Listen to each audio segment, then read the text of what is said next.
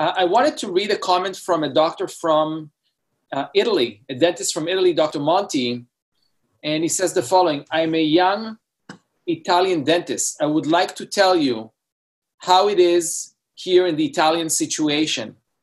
All dental private practices are closed. Every day, our doctors fight to save people. The hospitals are almost full, provoking critical and dangerous situations. Then please stay at home.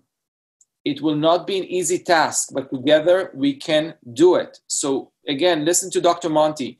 Please stay at home. Encourage your patients to stay at home.